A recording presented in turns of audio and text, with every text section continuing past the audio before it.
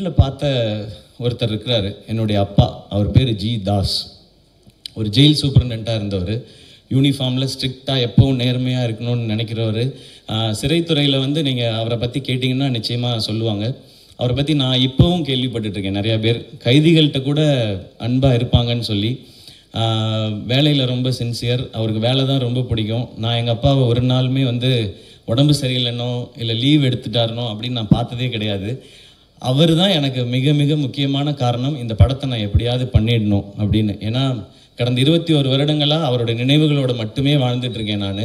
அவரை திரும்ப எனக்கு வந்து அவரை நான் பார்க்கறதுக்கு ஒரு வாய்ப்பு அவராக நான் இருக்கிறதுக்கு ஒரு வாய்ப்பு எனக்கு இந்த படத்தில் கிடைச்சிது. அதுக்கும் நான் இந்த என்டையர் டீமுக்கும் ராஜ்குமார் அவர்களுக்கும் நன்றி சொல்லணும்னு நினைக்கிறேன்.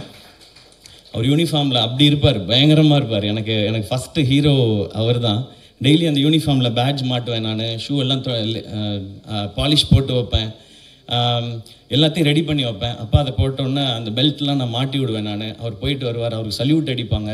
ஸோ அவரை பார்த்தா எனக்கு இது எல்லாமே எனக்கு இது இது எல்லாமே தோணுது. நான் அவர் மாதிரி இந்த படத்தில் இருக்கணும்னு நினச்சது தான் ஒவ்வொரு கா